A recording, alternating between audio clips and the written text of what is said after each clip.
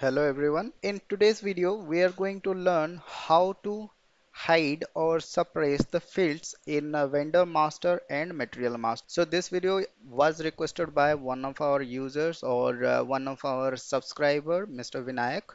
So he wanted to know how to hide or suppress the fields in vendor master and material master. So let's start with vendor master. So to hide or suppress any fields in vendor master, we need to go to customizing. So for that, we need to go to SPRO, then SAP reference IMG, then logistics general, then business partner, then vendors, then control, then define account group and field selection for vendor. We need to click here or directly you can go through this T code OMSG. You can come directly here. So here we have to search for our vendor group. So here we can select our vendor group that is TMMB which we have created. Just click on it and click on details. Then here you can find the field status tab so in field status, there is general data, company code data, purchasing data, purchasing sub-range data, purchasing plan data. So according to your requirement, which data you want to suppress or hide, you just click over here like uh, we are clicking on general data. So from general data, which group you want to some uh, do some changes. So according to that, maybe um, go to address tab or address group. So here maybe in the address the name one is optional entry form of address is also optional so maybe you can suppress your name to here uh, the PO box and PO box postal code PO box city search term B and uh, so just let these fields suppress. So now save it. So we have made some changes. So let's see if these fields are coming as suppressed or not on the vendor master screen. So let's start a new screen. So here let's say XK01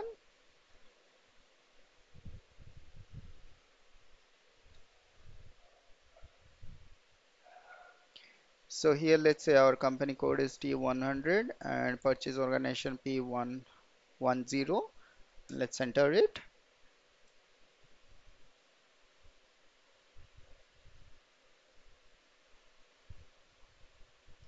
So here as you can see there is no name 2 is present here and search term only 1 by 2 is available here. Search term 2 by 2 or the second search term is not available here. And in the street address you can't find here the post box and all the post box details. You can't see it here. So this is how we can suppress a field in vendor master so this is how you can suppress the fields in vendor master but uh, the material master field suppression is a kind of tricky one. So let's see how we can suppress the fields in material master. So for that let's open a new screen. So if you know which fields to, to suppress, if you know which field you need to suppress, then directly you can go to the settings. Otherwise, if you don't know which field you need to suppress, then just go to MM03. Then here just click on the material and then organizational data. Here just enter your organizational details.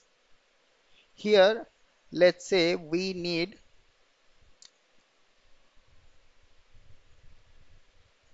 Here let's say we need external material group as suppress.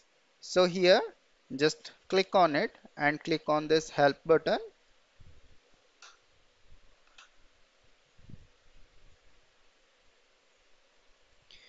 So click on this technical information. From here you can get the table name and field name. So this is the field name. Copy it from here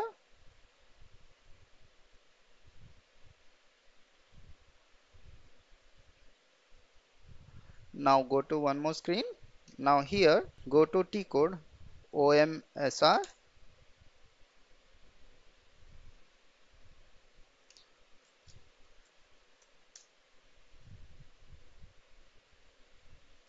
Now from here you need to search your field name and your table name. So we have a field name of like field name of full. Here you can so this is basically this is the table name and this is the field name so you have to search according to that so as we can see from their material master the table name was MARA so we just have to go to MARA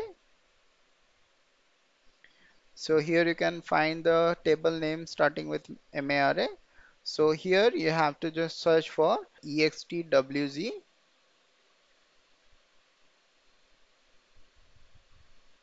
So here you can find the MARA table and the field name is EXTWG. The description is external material group. So the selection group is 151. So now you have to go to OMS 9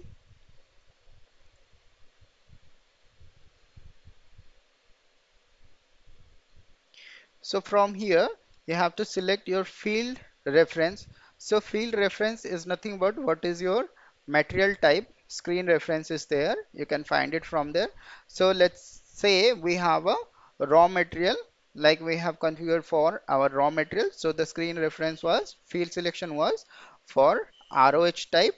So here find ROH type